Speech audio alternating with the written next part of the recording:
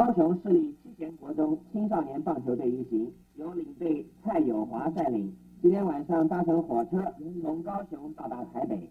这支以今年世界少棒冠军队高雄立德队为主要班底的棒球队，包括高顺德、游木东、郭耀宗等好手，教练是肖长滚。